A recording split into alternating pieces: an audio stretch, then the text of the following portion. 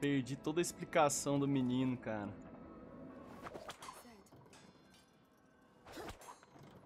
Tô sem saber nada. Next? To Jupiter's right is Mars, the god of war. É, ó. Ah. É esse aí. Venus is the first to the right of the sun. It's shaped like a necklace.